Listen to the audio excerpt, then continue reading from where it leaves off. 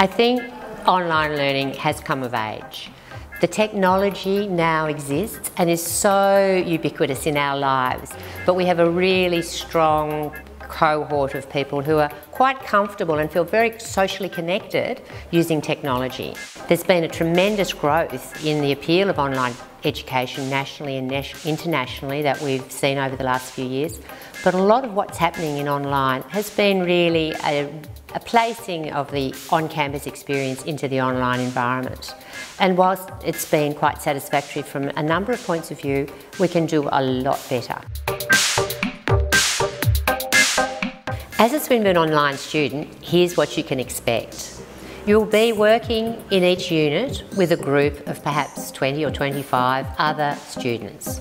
You will have an e-learning advisor who is a curriculum expert in the particular area we're talking about. As well as that, we will have quite a team of people who can support you outside of that environment. So we're going to be able to offer you email or telephone, telephone support for extended hours seven days a week. And whether your need be you have a technology problem, you can't get into the website, you can't find a reference in the library, you're a little bit unsure about how to structure your response to this essay, you need special consideration or perhaps an extension on your essay. All of those sorts of questions can be answered. So what does that mean for you, the student? It means that you are surrounded by people who you can go to for help and support.